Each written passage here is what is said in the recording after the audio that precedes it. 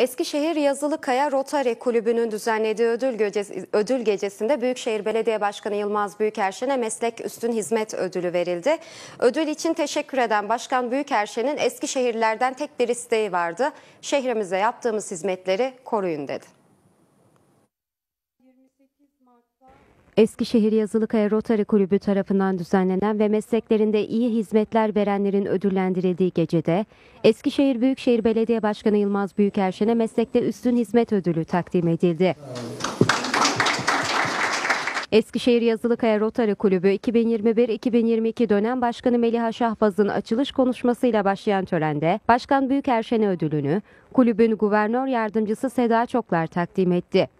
Gecede Anadolu Üniversitesi İletişim Bilimleri Fakültesi öğretim üyesi Profesör Doktor Nezih Orhon, Görsem Emekli Müdürü Semin Kayacan, Akut lideri ve USAR eğitmeni Mete Kızıl meslek üstün hizmet ödülü alırken, unutulmaya yüz tutmuş meslekler ödülü ise Yorgan Terzisi Erol Aydın'a verildi.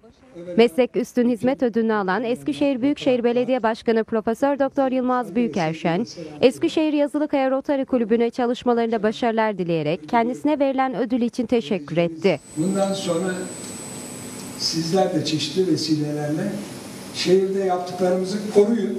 Bütün istediğim vatandaşlarımdan, Eskişehirlilerden o. Sağ olun. Çok teşekkür ediyorum.